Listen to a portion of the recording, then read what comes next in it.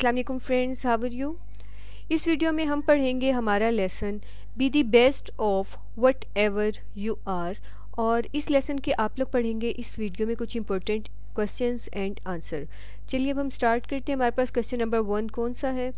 तो फ्रेंड्स ये एक पोइम है और इस पोइम का क्वेश्चन नंबर वन जो है वो आपको इस तरह से भी आ सकता है।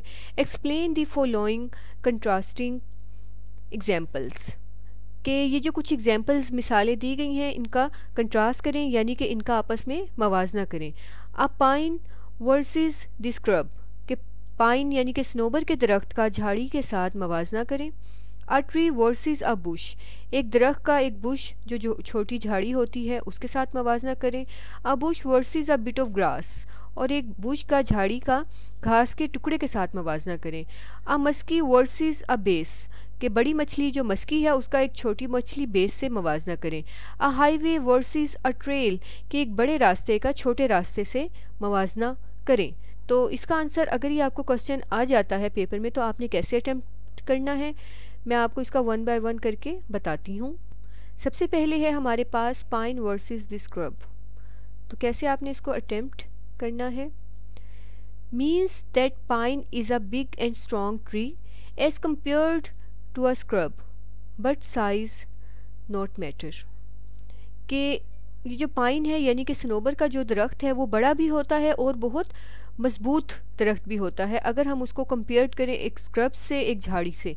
बट साइज़ नॉट मैटर लेकिन शायर ने हमें पो, पोइम में यही बताया है कि साइज़ जो है वो मैटर नहीं करता क्योंकि बड़ी जो चीज़ें हैं उनकी अपनी जगह होती है उनका अपना काम है और छोटी चीज़ों का अपना काम है। तो इसका आपने इस तरह से कंपेयर करके लिखना है। नेक्स्ट है हमारे पास a tree versus a bush के एक बड़े तरह का छोटी झाड़ी से अब मवाजना करें। Means that the tree is useful but bush also has its own purpose and importance कि इसका मतलब है कि जो दरख्त है, उसकी अपनी अहमियत होती है और वो बहुत फ़ायदेमंद भी होता है। लेकिन इसके साथ साथ झाड़ी जो है, उसका अपने मकसद है और उसकी अपनी अहमियत है। क्योंकि झाड़ी अगर ना हो तो वादी इतनी खूबसूरत ना लगे, छोटी झाड़ियाँ अगर ना हो तो।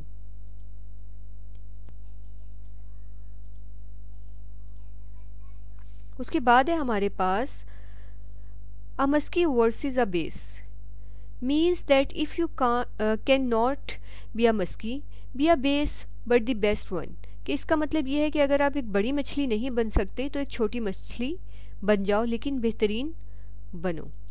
नेक्स्ट है हमारे पास a highway versus a trail कि एक बड़ा रास्ता और एक छोटे रास्ता, इनका मवाजना करें। Means that trail is as useful as highway इसका मतलब ये है कि एक छोटा रास्ता जो है उतना ही फ़ायदा होता है जितना कि बड़ा होता है। Everything has its own place हर एक चीज़ की अपनी ही एक जगह होती है और उसकी जगह कोई दूसरा नहीं ले सकता। नेक्स्ट है हमारे पास a bush versus a bit of grass के एक झाड़ी का एक घास के टुकड़े से मवाजना कीजिए। Means the bush has its own importance but grass also serves well इसका मतलब ये है कि बुश की झाड़ी की अपनी जगह अहमियत होती है, लेकिन घास जो है वो अपने ही तरीके से खिदमत करता है। मीन्स कि उसकी अपनी इम्पोर्टेंस होती है। Be the grass but put in the best efforts कहते हैं, घास ही बन जाओ, लेकिन अपनी बेहतरीन कोशिशें जारी रखो, अपनी बेहतरीन एफर्ट्स कभी भी ना छोड़ो। नेक्स्ट क्वेश्चन है अब हमारे पास question number two what is more important according to the poet to be on top और टू दी और to be the best and why discuss के आपके ख़्याल में शायर के मुताबिक क्या चीज़ होना सबसे अहमियत रखता है?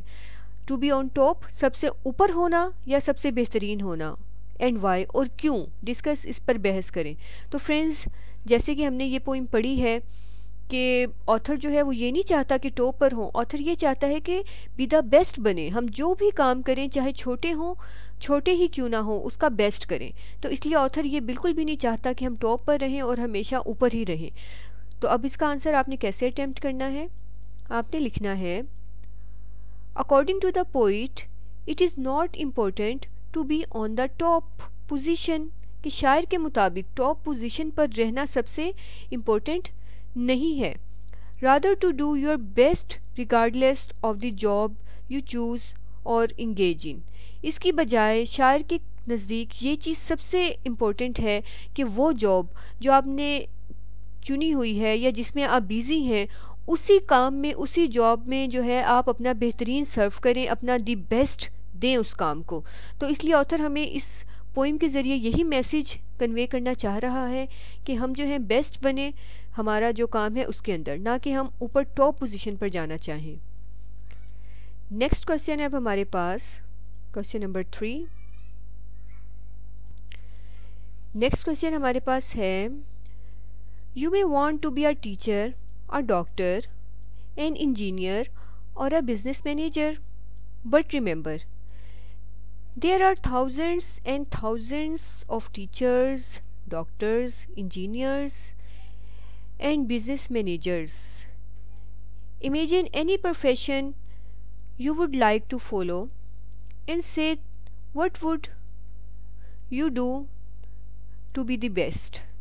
Author क्या कह रहे हैं हमसे कि आप क्या बनना चाहते हैं एक टीचर या डॉक्टर या इंजीनियर या बिजनेस मैनेजर क्या लेकिन आप याद रखें कि यहाँ पर हमारे पास हज़ार हज़ारों की तादाद में टीचर्स भी हैं डॉक्टर्स भी हैं इंजीनियर्स भी हैं और बिज़नेस मैनेजर्स भी हैं। तो वो आपके लिए कह रहे हैं कि किसी भी प्रोफेशन को आप जो है उसका इमेजिन करें, उसका तस्वूर करें और उसके बारे में फिर आप क्या कहना चाहेंगे और आप उसमें किस तरह से बेहतरीन बनना चाहेंगे। तो फ्रेंड्स इसका आंसर में मैंने यहाँ पर एक टीचर का लिखा है, क्योंकि टीचर बनकर आप अपने जो कंट्री है और नेशन है, उसकी अच्छे से खिदमत कर सकते हैं, बल्कि आप हर प्रोफेशन में ही कर सकते हैं। लेकिन इसके आंसर हमने कैसे अटैम्प्ट करना है, आपने लिखना है, और आप अपने अगर कोई है तो आप वो भी लिख सकते हैं। ये हमने ऐसे अटैम्प्ट करना है। There are many professions but I would like to become a teacher as it is the most honourable and respected profession यहाँ पर बहुत से पेशे हैं, लेकिन मैं जो है वो एक उस्ताद बनना चाहूँगा या चाहूँगी, क्योंकि ये बहुत ही काबिल इज़्ज़त और इज़्ज़त वाला रिस्पेक्टेड प्रोफेशन है। Teachers are called builders of nation उस्ताद जो हैं वो इस कौम की तामीर करने वाले कहलाते हैं कि वो अपने हाथों से इस कौम की, इस मिलत की तामीर करते हैं। I want to serve my country and nation up to the best of my efforts और मैं अपने मुल्क की और अपनी कौम की खिदमत करना चाहूँगा या चाहूँगी अपनी बेस्ट एफर्ट्स के ज़रिए, अपनी सबसे बेहतरीन कोशिशों के ज़रिए। अब हमारे पास नेक्स्ट और हमारा लास्ट क्वेश्चन है। Does the point mean that we should not try to reach the top and be content with what we are और वेयर वी आर और does he mean something else discuss तो इसमें author हमें क्या कह रहे हैं कि डज द पोइट मीन कि क्या शायर का सिर्फ़ यही मतलब है कि we should not try to reach the top कि हमें टॉप तक जाने पर टॉप पोजीशन तक जाने तक कोशिश ही नहीं करनी चाहिए, या हमें हमारी जो पोजीशन है, जहाँ पर हम हैं, वहीं तक मुतमिन रहना चाहिए। क्या ऐसा ही है या इसका कोई और मतलब है? इस पर आप डिस्कस करें। तो फ्रेंड्स जैसे कि हमने पढ़ा है पोइम में ऑथर का मतलब ये नहीं है कि आप टॉप पर जाने की एफ़र्ट ना करें या ट्राई ना करें। सिर्फ़ और सिर्फ़ वो हमें ये मैसेज कन्वे करना चाह रहे हैं कि जो जॉब आपके हाथ में है फ़िलहाल उसमें अपना दी बेस्ट यूज़ करें। उसने हमें ये नहीं मना किया कि हम ऊपर तक टॉप तक पहुँचने के लिए ट्राई ना करें। तो इसका आंसर हम कैसे अब अटैम्प्ट करेंगे? हम लिखेंगे इसमें नो no, नहीं The poet does not mean that we should not try to reach the top के शायर ने हमें ऐसा नहीं कहा कि हमें टॉप तक बुलंदी पर जाने के लिए कोशिश नहीं करनी चाहिए। Actually he is of the opinion that we should always do our best वो असल में उसकी ओपिनियन या उसकी राय ये है कि हमें हमेशा से हमारा बेहतरीन इस्तेमाल करना चाहिए, अपना बेहतरीन देना चाहिए and try our best to do our job in the best possible way whatever our position is और हमें कोशिश करनी चाहिए best to do our job कि हमारी जो जॉब है हमारे हाथ में जो भी जॉब है चाहे हम छो, कोई छोटी जॉब ही करें उसमें हम अपना दी बेस्ट यूज़ करें। इन दी बेस्ट पॉसिबल वे और अपने मुमकिन तरीक़ों से वट एवर आवर पोजिशन इसके हमारी उसमें पोजिशन जो कोई भी हो हमारा मकाम जो कुछ भी हो हम उसमें अपना दी बेस्ट यूज़ करें। तो फ्रेंड्स ये थे हमारे वट एवर दी बेस्ट के कुछ इंपॉर्टेंट क्वेश्चंस एंड आंसर्स तो आपने इन्हें इसी तरह से अच्छे से प्रिपेयर करनी है।